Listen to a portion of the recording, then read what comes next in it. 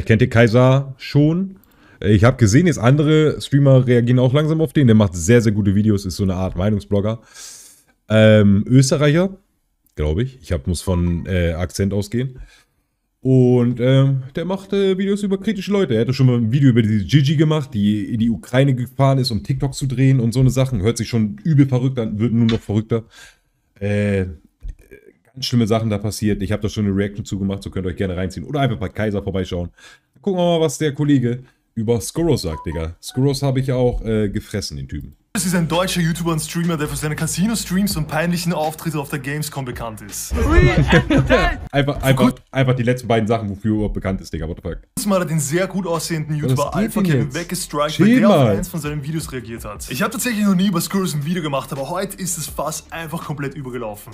Was geht ab, meine Freunde? Herzlich willkommen zu einem weiteren Video hier auf meinem Kanal. Herzlich willkommen zurück bei der besten Sendung auf ganz YouTube. Ihr habt es richtig gehört, heute geht es um Skurrus. Hört sich an wie diese nicen Churros, aber ist bei weitem nicht so, ja so süß.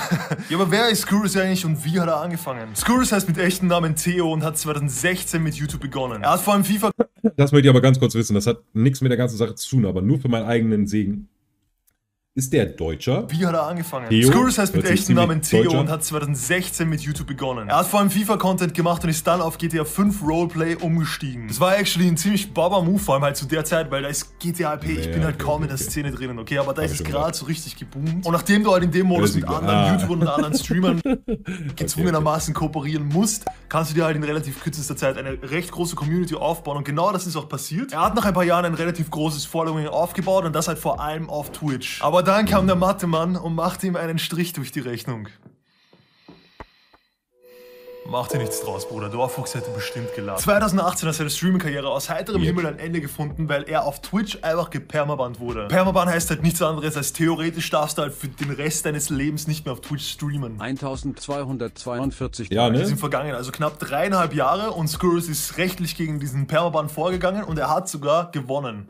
Ja, ich finde das sehr nice. Finde ich auch sehr, sehr nice freue ich mich sehr fürs Kurs. Der hat wirklich, seit er hier ist, ich, der wohnt ja auch schon seit zwei Jahren auf Madeira und er hat immer davon geredet, dass er wieder auf Twitch streamen möchte und so mit Unge zu tun hat, ne? Ist auch so surreal. So, und ich bin ja freiwillig auf YouTube, ich bin ja gerne auf YouTube. Ihn hätte ich auch getippt. Aber er ja, war auf YouTube Art, nur, ne? weil er auf Twitch halt gebannt wurde. Was auf Twitch halt wirklich sehr beschissen ist, ist, dass sie manchmal einfach irgendwelche Creator bannen, ohne wirklich großartig einen Grund anzugeben. Also bei Skurrus war es irgendwie Beleidigung oder sowas auf die Art, aber sie haben ihm halt keinen Clip mitgeschickt, wo sie sagen, yo, sorry, Digga, sorry, sorry. deswegen wurdest du gebannt. Aber egal, er hat letztes Jahr im Oktober sein Comeback gefeiert und das ist nicht mal ein Jahr her, okay? Und jetzt geht es richtig los. Zu der Zeit hat Monte relativ viel Casino gestreamt und wurde natürlich auch dafür kritisiert. Ist logisch. Und schon damals haben große Streamer wie Knossi oder Monte das Thema ordentlich gepusht und darauf Aufmerksamkeit gegeben. Und mittlerweile sind wir in dieser ganzen Szene nochmal einen Schritt weiter. Denn mittlerweile gehen diese Casinos aktiv Kooperation mit den Streamern ein. Das heißt, sie müssen regelmäßig in diesem Casino online spielen, das Ganze ja. streamen und bekommen dafür man. Geld. Sehr,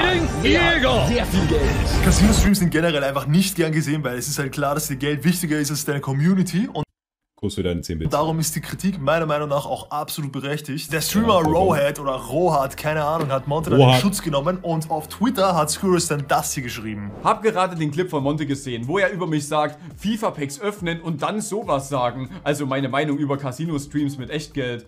Ich finde, man kann FIFA-Packs niemals mit dem vergleichen, was du mit Casino-Streams machst. Ich hab auch null gegen dich, Rohat. Ihr könnt ja auch machen, was ihr wollt. Und über FIFA-Packs kann man gerne diskutieren. Aber ändert nichts an dem Fakt, dass das, was du in deiner Lage machst, einfach uncool ist und es nicht schön zu reden ist. Um mehr geht's nicht.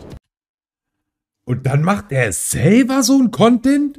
Bruder, dann löscht doch wenigstens den Tweet, Digga. Was ist denn los bei dir? Also im Oktober meint Skurrus noch, ja, Casino-Streams sind absolut uncool und nicht schön zu reden. Und damit hat er ja auch recht. Wenn du Glücksspiel aktiv für deine Zuschauer bewirbst, dann kann es halt sein, dass ein paar von denen in die Spielsucht geleitet werden und die dann ihr ganzes Geld verzocken und ihr Leben ruinieren. Auf der anderen Seite bekommst du natürlich auch das Geld richtig tief ins gesteckt. So tief sogar, dass du deine moralischen Werte in manchen Fällen auch einfach verkaufst. Das Ding ist, soweit ich weiß, sind Online-Casinos so die Werbepartner, die am allermeisten Geld in die Hand nehmen und halt auf den Tisch legen. Was ganz einfach bedeutet, dass sich diese Deals für die Casinos am allermeisten rentieren, am meisten profitabel sind. Viel mehr als, keine Ahnung, 180-Turn, ohne Spaß. Musst du denken, wenn ich jetzt zum Beispiel für Netflix eine Werbung mache, dann bekommen die natürlich auch einige Subs und einige neue Zuschauer dazu, die, die weiß nicht, 12,99 im Monat raushasseln. Aber wenn ich für Casino eine Werbung mache, dann brauche ich nur einen Amigo erwischen, der 400, 500 Euro im Monat rausballert. Und das rentiert sich halt 10, 20, 30 Mal mehr als jede andere Werbung. Und gerade bei sowas wie Online-Casino ist dann nochmal problematischer, weil wenn du ins Casino gehst, ins echte Casino oder zum Automaten, dann hast du halt deine Chips oder dein Bargeld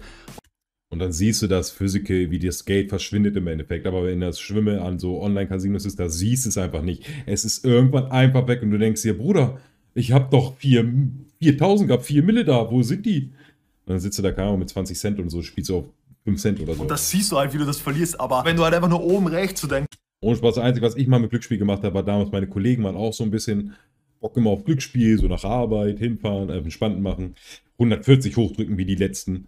Äh, Bruder, ich bin da mitgegangen und das höchste, was ich mal gesetzt habe, waren glaube ich 5 Euro habe ich reingepackt und habe dann auf 50 Cent gespinnt. Das war wirklich schon das höchste oder ein Euro. Und dann habe ich glaube ich auch mal auf 50 Cent Freispiele bekommen, 15 Euro rausgeholt, tot gefreut, nie wieder Casino angepasst. Geld siehst als Zahl, dann ist es ein ganz anderes Feeling. Aber wisst ihr, was auch ein ganz anderes Feeling ist? Rich zu sein, Bitches. 1500 Glücksspielsüchtige, die pissig. Im Mai dieses Jahres hat die Scoretta einen Casino-Deal angenommen, der anscheinend so hoch war, dass er einfach alle seine moralischen Werte schnell mal unter den Teppich gekehrt hat. Und dann kommt Ich glaube, der hat halt nicht so krass moralische Werte, sondern er möchte einfach gerne immer dieser Mann sein, der da, oder derjenige sein, der auf Twitter der Erste ist, der, ey, du bist schlecht, weil du das und das gerade machst, Digga. Er möchte dieser Moralapostel sein.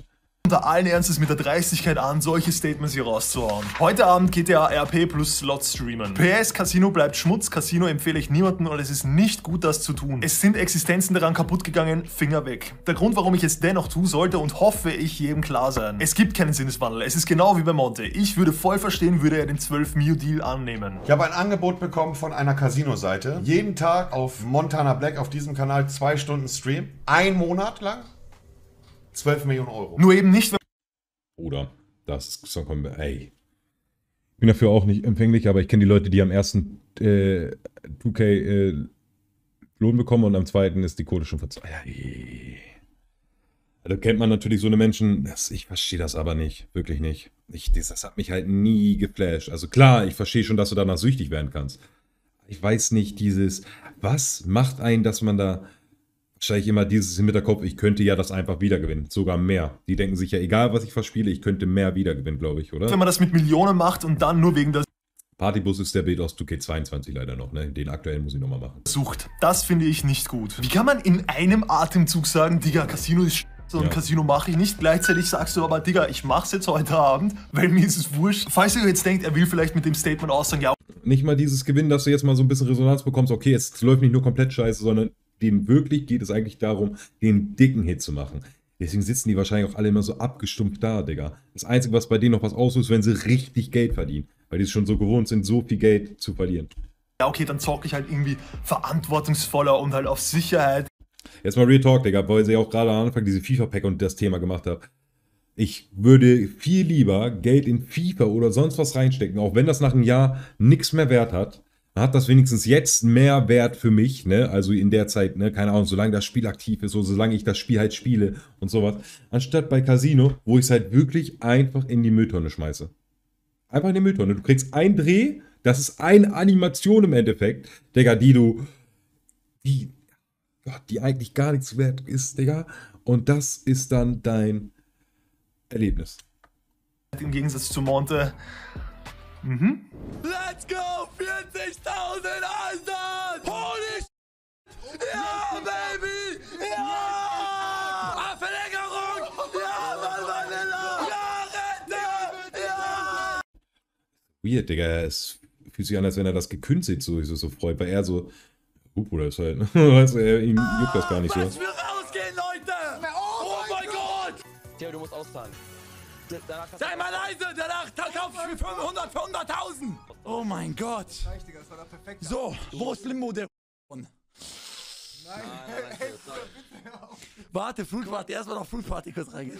Also ich würde das hier als seichte Unterhaltung einstufen. Wisst ihr, ich habe letztens ein Video von meinem Kollegen Mo Moody gesehen und der hat was richtig Heftiges Nice gedroppt. Maske. Ihr müsst euch vorstellen, der ist auch Meinungsblogger und wurde Oh, von einem ja. Casino angeschrieben und die wollten ihn dafür bezahlen, dass er gegen sie ein Video macht, gegen das Casino. Also so eine Art Zerstörungsvideo, einfach weil die halt wissen, dass sie dadurch ins Gespräch kommen. So, auf Lol. die Idee muss da mal kommen. Jetzt gab es ja vor kurzem irgendeinen so einen komischen. Boxkampf hinter der Halle 8 auf der Gamescom, wo so ein komischer Hm. Rapper aufgetreten ist. Keine Sorge, ich weiß natürlich, dass der Drops jetzt schon von jedem YouTuber gelutscht ist. Ich will das Thema auch gar nicht ansprechen. Ich wollte eigentlich was zu einer ganz anderen Sache sagen, die dort passiert ist. Und dafür brauchen wir jetzt ein bisschen Kontext. Deswegen schauen wir uns zuerst den Clip an. Ich muss das mit TikTok kurz klären, Leute. Ein Bruder von mir äh, erlebt aktuell schlimme Zeiten. Und deswegen, ich muss mal kurz was klären hier. Oder wie er redet, ne? Es ist so gottlos. Herr Rentner Thomas. Gibt da keine schlechte Werbung, nur Werbung halt. Oldest Trick in so Book. Hast du vollkommen recht. Entschuldigung, Ja, hast du vollkommen recht. wir arbeiten hier für TikTok, ne? Well, oh no, no, no, no, no, no. Deswegen gibt es halt überhaupt noch so Leute wie, weiß ich nicht. Oder ich wollte gerade, nee, lass mal lieber. Ganz kurz, ist in Ordnung, wenn wir filmen? Ist okay? Edis ist ein Ehremann. Er fragt erstmal und guck mal, wie Skurrus da reingeht. Entschuldigung, Er redet, das müssen wir uns auch nochmal anhören. Hast du recht, Digga. Warte mal. Ich muss das mit TikTok kurz klären, Leute. Ein Bruder von mir äh, erlebt aktuell schlimme Zeiten. Und deswegen, ich muss mal kurz was klären hier. Digga, warum redet er so? Wir arbeiten hier für TikTok, ne? Er geht auch direkt hin, ohne irgendwas zu sagen. Er ist auch Ehrenmann jetzt. Ganz kurz, ist in Ordnung, wenn wir filmen? Ist okay? Siehst du? Das Ding ist, ich bin für Free Andrew Tate. Ich bin dafür, ich bin hier, um dafür zu sorgen, dass er entbannt wird. Könnt ihr ihn entbannen? Free Andrew Tate! Free Andrew Tate! Ich finde, das zeigt Digga, ist schon dolle cringe. den Charakter von Skurrus einfach perfekt. Diese mexikanische Katze, Digga. El Kringe. Weil er meint natürlich das mit diesem Free Andrew Tate Ding, das ist ein Scherz und so, kann ja auch sein. Du gehst aber trotzdem wie irgendein Möchtegern Wichtiger zu irgendwelchen Mitarbeitern von TikTok hin und verarscht Ey, was mir letztens auch aufgefallen ist, ne? Skurrus sieht eins zu eins aus wie fucking Gargamel von den Schlümpfen. Kann ja auch sein. Du gehst aber trotzdem wie Die jungen Leute kennen das wahrscheinlich nicht mehr, aber die Alten unter uns, die wisst, ihr wisst auch ganz genau, was ich meine, oder? irgendein Möchtegern Wichtiger zu irgendwelchen Mitarbeitern von Nappel, TikTok ja, hin und verarscht sie. Glaubst dann, das ist die allercoolste Aktion ever? Kurze Frage, wen interessiert das? ist einfach Gargamel eins zu eins. Denkst du, die Mitarbeiter, die halt einfach nur ihr Geld verdienen wollen, haben Bock drauf, dass der allerechte sie jetzt zur Lachnummer machen will? Aber egal, wir beruhigen uns alle mal ganz kurz wieder, weil ich habe nämlich einen ganz passenden Clip dazu gefunden. Oh mein Gott, ey, komm. Ey, können wir bitte ein Foto machen? Ja, oh mein Gott. Ey, komm mal bitte mal ein Foto. Wer bist du denn? Ich bin? Ich heiße Ah, das habe ich glaube ich auch gesehen. Da will jemand mit Skurrus Foto machen und Skurrus hat da keinen Bock drauf gehabt. Äh. Warte mal. Ich schwör's dir. Kann man, Shimon.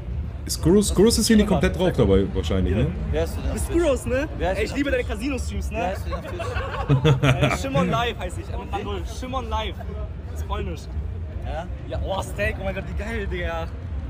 Ich, hab, ich war letztes Also er will ihn schon hops nehmen, man merkt es schon, ne? Casino wegen dir, ne? Ich hab gewonnen mit einem Kollegen, ne? Du glaubst es nicht. Wirklich? Man sieht es nicht, aber Jungs, ihr wisst ja, ne? Ohne Spaß hier. Es ist einfach Gargamel. Oder das sieht man nicht richtig, ne? Oder er ist einfach Gargamel. Eins zu eins, Digga. Skurrus, Bruder. Jetzt fehlt nur noch die Steakkette. Wirklich. Wir sind mit 5 Euro reingegangen. Wir hatten 10 Euro. Zieh mal alleine. Okay. Ich sag das am besten, geh lieber, okay? Okay. Darf ich trotzdem ein Bild mit dir machen? Ey, verarsch mich ich glaub, geh lieber. Okay, sorry. Können wir trotzdem ein Bild machen? Fahr- Lass mich verarschen. Zieh Nein, alleine. ey, ich, ey, ich. Mich zu filmen, lass mich verstanden. Okay, okay, Geh okay. jetzt einfach. Können wir kein Bild machen? Ey, du sollst gehen, hab ich dir gesagt. Hör auf mich Ja, zu filmen. Alles- alles gut. Ey, wer hat mich Alles gut? Ganz, du Wird ich aggressiv? Alles, alles gut? Ey, wer hat mich aggressiv? Alles gut? ganz komisch, oder? Auf einmal ist es gar nicht mal so witzig, wenn sich jemand in einem Livestream über dich lustig macht. Digga, das ist eins zu eins genau das gleiche, was du mit den Leuten von TikTok gemacht hast. Genau das gleiche. Der Typ streamt, geht währenddessen zu dir hin, macht sich über dich lustig und du sagst, ja, pass auf, pass auf, was du da machst, du solltest besser aufhören zu filmen. Digga, Theo, warum auf einmal so zickig? Aber schau da an den Dude im Hintergrund, der hat's richtig genossen. Ich hab gewonnen mit einem Kollegen, ne? Aber ja, ich habe wie gesagt noch nie ein Video über Skurrus gemacht, weil ich habe insgeheim gehofft, dass wir irgendwann mal Freunde werden. Vor ein paar Tagen hat sich das allerdings geändert. Ihr habt es vielleicht schon gehört, Olaf Scholz hat es verkündet, Alpha Kevin wurde von ihm gestrikt. Alpha Kevin, der im echten Namen tatsächlich Oliver heißt, wie random ist das, hat im Stream auf einmal Alpha Kevin heißt nicht Kevin? Video von Skurrus reagiert, ohne ihn zu beleidigen, ohne gegen irgendwelche Richtlinien zu verstoßen oder so. Und dafür hat er ihn striken lassen. In Wahrheit hat er, schätze ich mal, einfach nur den Strike rausgehauen, weil die beiden halt ein bisschen Beef haben oder so. Aber das Lustige ist, Skurrus reagiert in Auf gottlos Basis. Streams auch auf Videos von anderen Leuten. Also er macht exakt, exakt das Gleiche. Warum er Alpha Kevin hat sperren lassen. Was ist da los, Bruder? Tanzverbot hat dazu folgendes geschrieben: Junge, das ist so lächerlich. Ab sofort sollte er lieber auch auf nichts mehr reagieren. Wir können auch striken. Ihr habt's gehört, wir können auch striken. In meinem Ermessen ist der Boy halt einfach nur kritikunfähig, weil sowas finde ich halt echt uncool. Die Aktion ist tatsächlich auch der einzige Grund, warum ich das Video hier mache. Ich meine, ich habe eigentlich Ich habe auch ein paar Mal in seine Streams danach reingeguckt, ne? Und der sieht immer aus, als wenn er irgendwie so auf Flucht wäre. Immer so, so umschauend und immer so ein bisschen, würde er sich nicht wohlfühlen. vorgehabt, ein anderes Video zu machen, aber allein aus dem Grund, dass Skurrus der Meinung ist, er kann einfach so out of the blue irgendwelche Leute wegballen, einfach nur weil sie auf ihn reagieren. Das finde ich gar nicht cool. Und nur mal so als kleine Info, bei drei Claims, also bei drei Sperrungen, ist mein Kanal für immer weg. Da gibt's auch kein Zurück mehr. Demnach habe ich das Gefühl, dass er versucht hatte, meinen Kanal für immer wegsperren zu lassen, obwohl er selber weiß, wie schlimm das Ganze ist. Und das nur, weil ich kritisch gegenüber ihm stehe und vor allem seiner Casino-Aktivität. Pass auf, wenn du Casino-Streams machen möchtest, dann mach. Weißt du, was ich meine? Das ist mir egal. Dann habe ich mein gratis Content und du, weiß ich nicht, enttäuscht deine Mutter. Du musst dich aber in der Position als Casino-Streamer obviously darauf gefasst Irgendwann. machen, dass Hate auf dich zurückkommt. Wenn du Meinungsblogge machen willst, so ungefähr wie ich es mache, dann musst du dich darauf gefasst machen, dass du Hate bekommst. Es ist einfach so. Dann andere Leute zu kritisieren, weil sie dich dafür kritisieren, für den Content, den du selber als Schmutz betitelst, das verstehe ich einfach nicht. Das check ich nicht. Twitch sollte meiner Meinung nach in so einem Fall wirklich mal beide Seiten beleuchten und sich anschauen, okay, war das jetzt gerecht? Ja, aber Twitch ist da auch sehr, sehr schnell, ne? Ja, wirklich. Ich hab, wurde ja auch einfach on-stream damals gebannt, weil ich ja angeblich irgendwelche Sachen gesagt habe, obwohl ich sie alle in den erklärerischen Kontext erzählt habe und erklärt habe. rechtfertigt Also oder ganz, nicht, ganz weil schwer. einfach so konsequent Auch vor allem, ich war einfach, einfach zwei Wochen weg. Nee, eine Woche war ich einfach, oder? Nee, eine Woche war ich weg, Digga. Und die Alte, die on-stream einfach gefickt hat, einfach gevögelt hat, on-stream, weggebankt wurde von, ne, und den, den 3000 Gag und, äh, weiß ich nicht, alles gemacht hat, die hat drei Tage bekommen.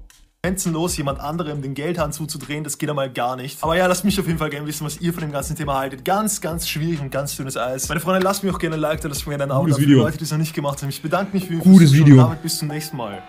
Ja, Skoro ist einfach lost, Digga, ohne Spaß, Digga. Fängt er an, Sachen von anderen Leuten wegzustriken, obwohl er selber reagiert. Der ähm, malt sich selber die Zielscheibe auf den Rücken. Kannst du nicht anders sagen.